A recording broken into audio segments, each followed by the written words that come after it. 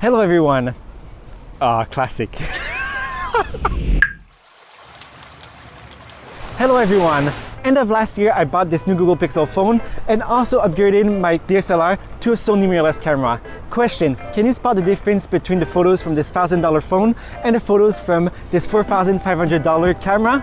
If it's anything like the results we got last year, it might be much harder than you think.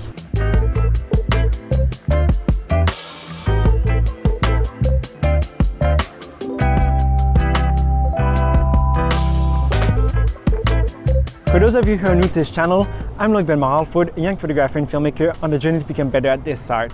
I will take plenty of photos of the beautiful city of Vancouver, but to make this comparison more interesting, I won't tell you which photo was taken with which camera.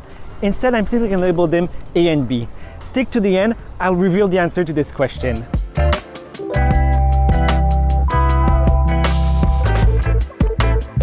Before we start taking any of the comparison shots, let's talk about the devices and camera settings we're going to be using. So first of all, we have my Google 6 Pro right here with its four lenses, and each lens produces about a 12 megapixel image in the end. Then we have my Sony a7 IV here with two lenses. So the first one is a 28 to 200 f2.8 to f5.6, and then we have my 17 to 28 at f2.8.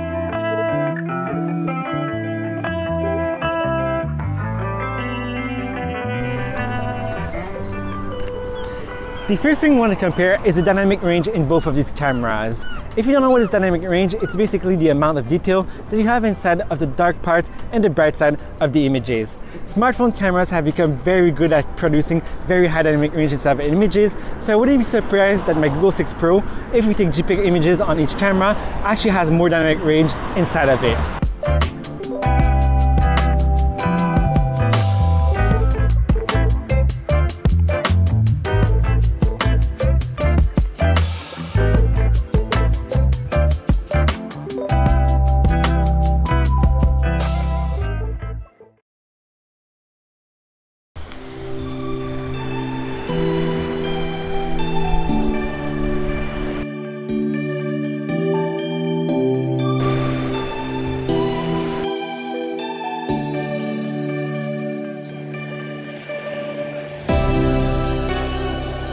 One feature where smartphone has really tried to catch up to DSLR mirrorless cameras is actually for the bokeh. If you don't know what bokeh is, it's a background blur inside of the images. And this is very important, especially in situations like this where I take pictures of people because you want to separate your subject and the background. This is called portrait mode instead of most phones because it allows to take better portrait of people. So let's test it out with my friend Nicholas right here.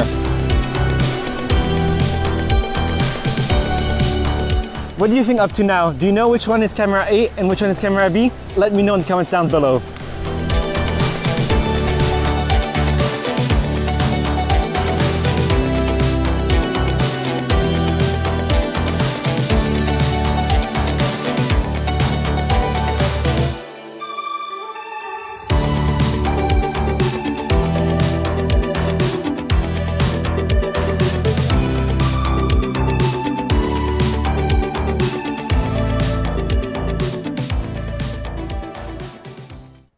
One of the most underrated features of a mirrorless or DSLR cameras is actually the ability of being able to change some lenses. So on my Google 6 Pro, we actually only have three lenses. We have one that's ultra wide at 17 millimeters. There's one that's 24 millimeter, which is a wide lens. And finally, there's a telephoto at four times zoom, which is about 100 millimeters. On my DSLR, we actually can stop and we can switch the lenses right here. So can I take it out here? I can go in my bag and I have a second lens so I can really choose whichever lens is the best for the situation. And this is very important actually for a situation like this where we had a beautiful sunset in the background here and I want to take some detail shots on the mountain so I can use this lens which is a 28 to 200 to take some detail shots.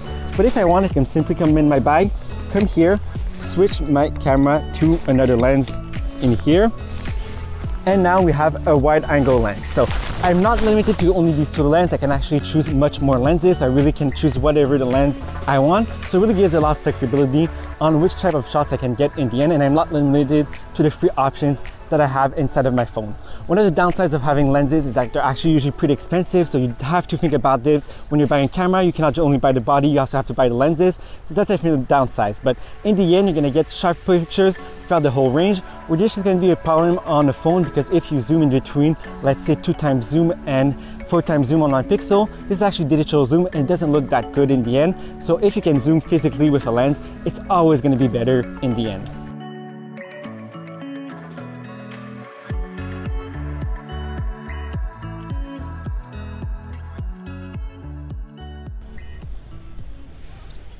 Before talking about our next point, which is going to be about taking some night photos because the skyline is starting to come out and being really nice, I want to talk about the difference of ease of use versus customizability. So for a smartphone, it's very easy to use.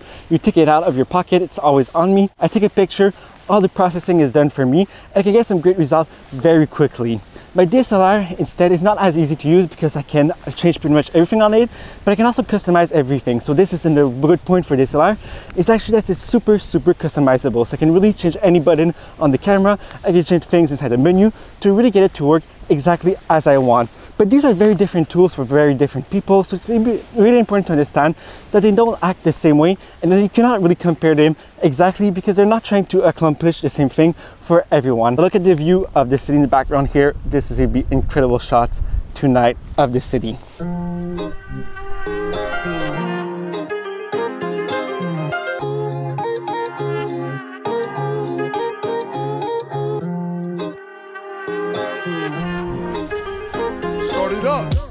One of the things that impressed me the most inside of my comparison between my Google Pixel 4a and my DSLR was actually the night shots. So on my Google Pixel 4a, because it uses night sight, it gets some really sharp and detailed images, where it's really actually hard to get some night shots using the DSLR or mirrorless handheld because the moment you take a shot, you have to be super steady to not get some blur inside of the images.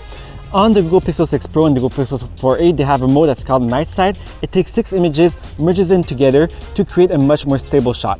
Now, all of this changes if we go right here and we put the cameras on a tripod. On my DSLR, I'm going to be able to get some much better shots because I'm going to be able to control the exposure and the ISO, so I'm going to be able to go for longer exposure and get less noise inside of the images. Where here on the Pixel, we're seeing some of the limitations that we have. And because it's steady, it could go a little bit longer for the night shots, but it's not going to change much inside of it in the end.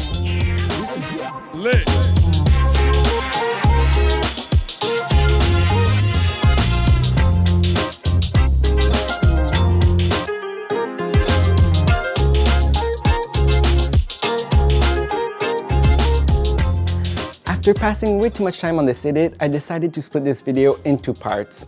In this first part, I'm gonna share a preview of my in-depth analysis, share which camera is which, and also share some bloopers at the end of this video.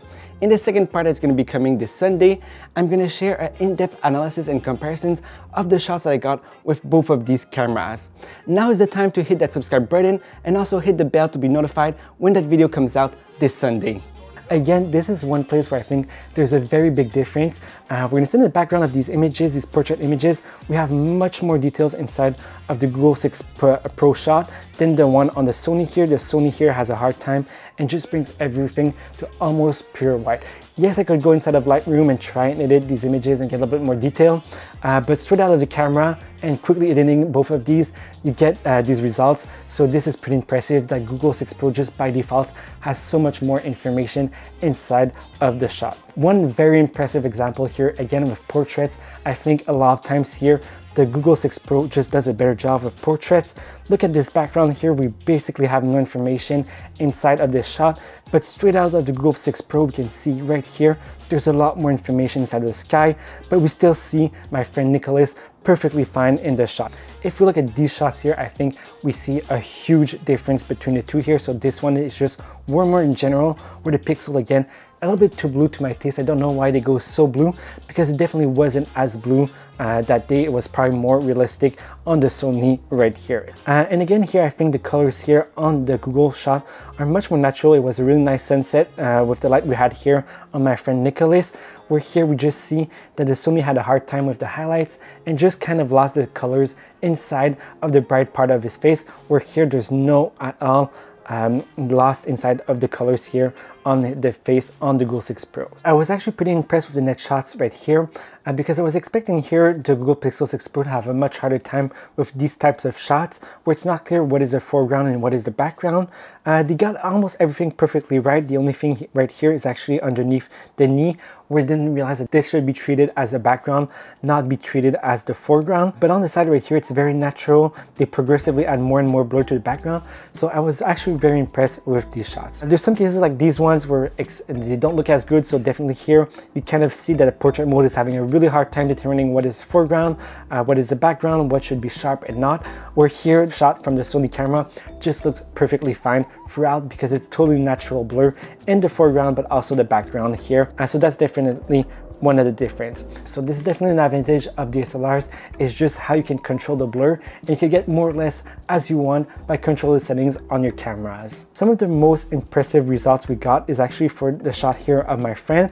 So we can see here that on the Sony camera, there's too much noise and had a hard time retaining some detail inside of my friend, where here the photo on my Google 6 Pro is actually super sharp, detailed, uh, and just looks a lot better in my opinion. There's more detail inside of the shot and it was actually really dark. So it's kind of impressive how much detail they kept inside of the Google 6 Pro shot. Again, here with my two friends side by side, this one looks very good. Even though I tweaked some settings here to get some better results on the Sony, I still think the one from my Google Pixel 6 Pro kind of looks better. So it's very impressive. So now the big reveal, Camera A was my Sony a7 IV camera and camera B was my Google 6 Pro. Did you get that right? Let me know in the comments down below. I'm very curious to know what you thought about this comparison. Are you the person that still uses a DSLR mirrorless camera? Have you switched to only using your phone? Are you just starting out photography and take all your pictures using your phone? I'm very curious to know what you think. My goal wasn't to tell if this camera or this camera is better. That wasn't the goal at all. The goal was just to try and compare because I'm still very impressed how good phones have become in the last few years. I want to end this video by saying a big thank to my friends Trevor and Nicholas that helped me filming this video while we were on our trip in Vancouver. It wouldn't have been possible without both of them. If you enjoyed this video, definitely let me know by hitting the like button below and definitely subscribe for more content on photography and filmmaking. See you in the next one. Are we filming? Yeah, we're filming. Test one, two, test. The microphone, yeah, the microphone is working. It's good. And this $4,500 camera. I'm missing one line. Question, can you spot the difference between the phones from, uh, the, uh, between the, and upgraded to this Sony, uh, sorry. And the photos from the, uh, you were so close. I was so close. I was so, so close. close. Should do a blooper channel. I think it would be more popular than the main channel. I have it recorded. you have no choice now. Uh oh. It's in like me taking pictures of Nick. Uh, I don't want to get shot. Why you are you going around? Rolling. One of the tests I were, uh, one of the tests I impressed I need more water right now. So first of all, we have my Google Pixel 4a, ah, uh, Google Pixel 4a, megapixel on all lenses. Uh, lenses.